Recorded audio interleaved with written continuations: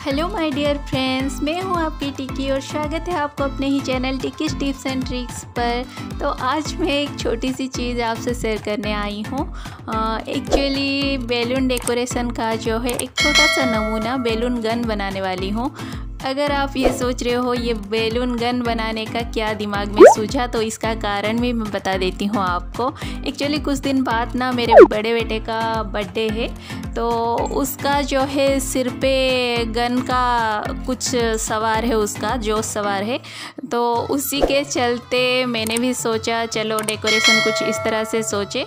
तो उस टाइम पे इतना हड़बड़ी रहता है कि मैं, शायद मुझे लगा कि मैं शेयर कर पाऊँ या ना कर पाऊँ। इसीलिए मैं अभी से आपको एक सैंपल शेयर कर दे रही हूँ। और डेकोरेशन में कुछ इस तरह से रखूँगी गन वाला। तो देखिए, आप जैसे जैसे मेरे बातों में पढ़ के आप वीडियो की तरफ़ भी ध्यान दीजिए। मैं तो बक बक करती रहूँगी। अच्छा लगता है आपसे बक बक करना। मैं यहाँ पे किस तरह से नाप के मोड़ रही हूँ, देखिए। इस तरह से मैंने यहाँ पे बैलून गन बनाने के लिए एक पिंक कलर का बैलून और दो ग्रीन कलर का बैलून का मदद लिया है। तो आप देखते जाइए पर्टिकुलर में ऐसे कहाँ पे क्या करती हूँ, आपको इससे बोल बोल के नहीं बता सकती, आप देख के ही अंदाज़ा लगाइए क्या करना है, क्या नहीं।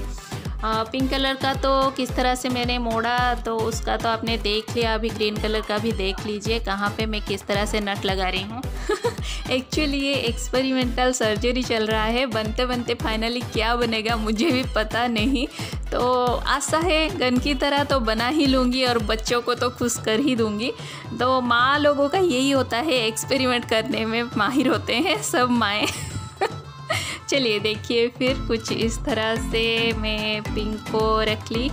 पिंक जो है वो सेंटर गन है तो ये ग्रीन का जो है मदद लिया जा रहा है, ये उसका हैंडल वगैरह ये सब बन रहा है।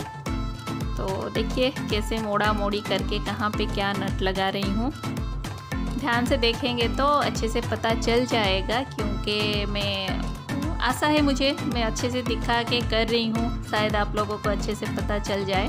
अगर आप लोगों के बच्चों को भी गन का शौक़ है तो कुछ इस तरह से उनके बर्थडे में उनको खुश कर सकते हैं। कुछ इस तरह से डेकोर करके गन बना के बैलून गन बना के बच्चे भी कभी कभी माता पिता के इम्तहान लेने लगते हैं ना।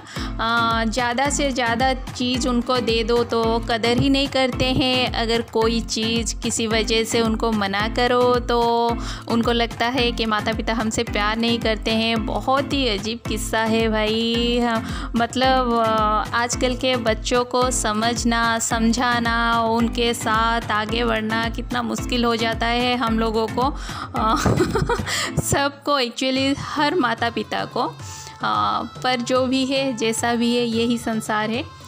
तो चलिए फ्रेंड्स अगर आपको मेरा वीडियो पसंद आए तो देखना पसंद आता है तो लाइक शेयर सब्सक्राइब ज़रूर कीजिएगा। और जो कोई नए हैं मेरे चैनल पर सब्सक्राइब करके बेल आइकन को तो ज़रूर प्रेस कीजिएगा, ताकि मेरे हर आने वाली वीडियो की नोटिफिकेशन आप तक पहुँच जाए और आप हर वीडियो देख पाओ, कोई सा भी मिस ना हो आपसे। और मुझे कमेंट भी कीजिएगा। ओके दिन bye friends take care love you